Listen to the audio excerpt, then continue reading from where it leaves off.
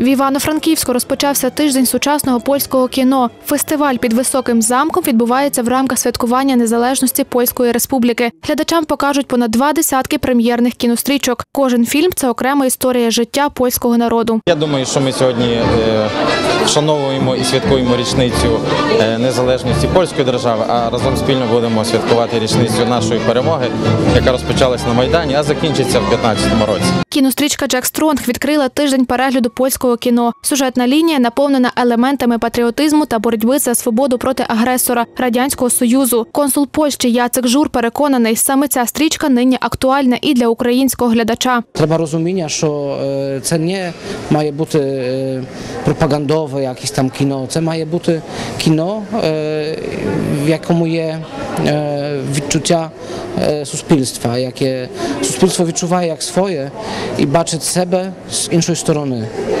Е, це Передусім, передусім треба грошей.